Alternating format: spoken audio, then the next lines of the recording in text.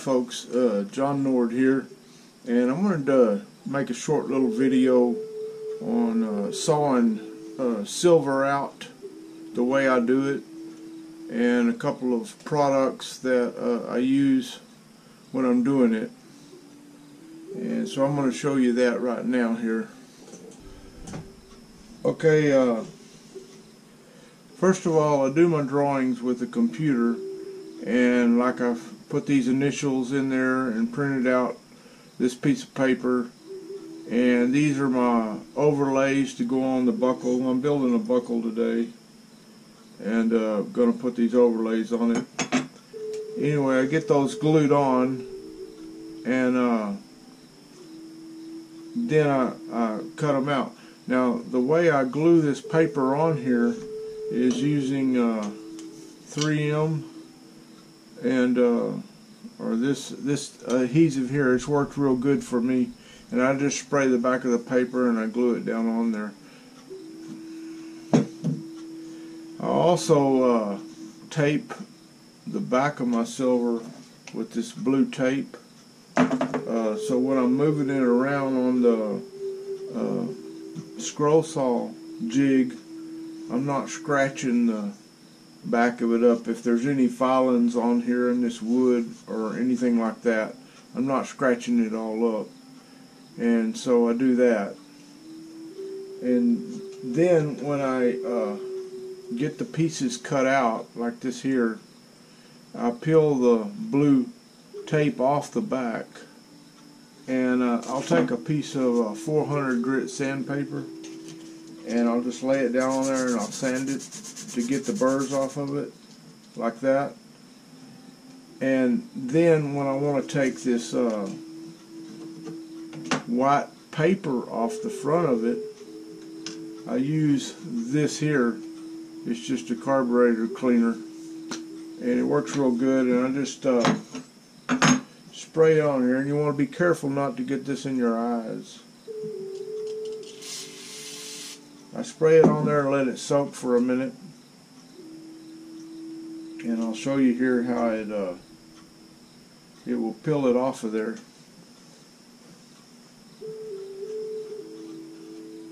Now sometimes you have to spray it one or two times to get all the glue off.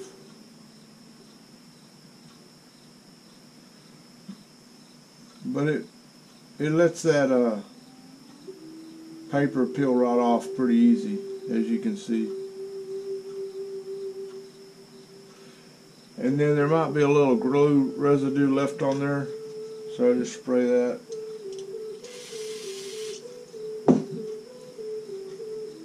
And I just take a cloth and I just kind of uh, rub the glue off of it.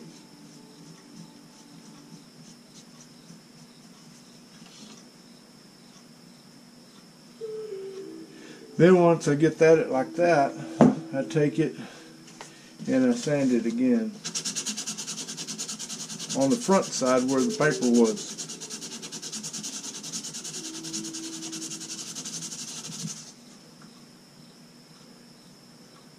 And then that's ready. Now you noticed uh, here I've got this brand hooked together by this piece of silver right here and that lets me put it on the buckle without these getting away from each other. It keeps the space right and everything. And then after I have this soldered on there, I just uh, take my engraver, a square graver, and I just cut that out of there. And then it appears to be two separate pieces.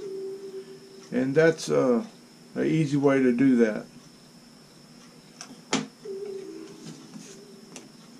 Also when you're cutting your design out of here now you can see here these initials um, are not hooked together but when I cut them out I just leave a little bar between them and that will keep them uh, together. And then I'll drill a hole here and I'll cut I'll put my scroll saw blade down through the hole and I'll cut around it. That keeps this whole piece from moving back and forth while I'm trying to saw. And I, I just cut it out of the piece like like this T2, uh, I had a hole right here and I put my uh, jeweler saw in that hole and then I came through here and I just cut around and came back and then I took the saw blade out and this dropped out. That way this is still strong and not flopping around from cutting in from the side. So that makes it real easy. Another thing I wanted to say about sawing, when you're cutting something, uh, let me put this back in here.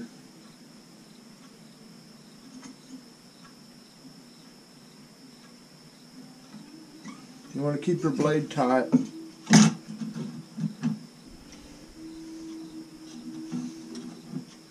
I've got a little piece of wax here I use and I just uh, put a little on my blade like that and when you're cutting you want to make uh, strokes like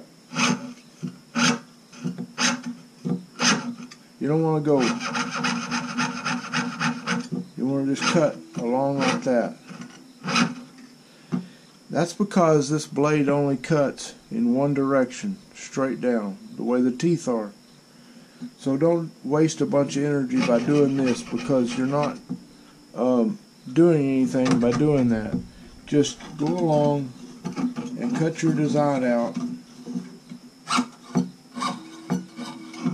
You know, like that. Because each downstroke actually cuts something.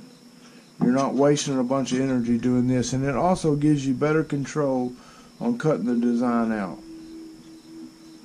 When you're through, just undo your blade, pull it out.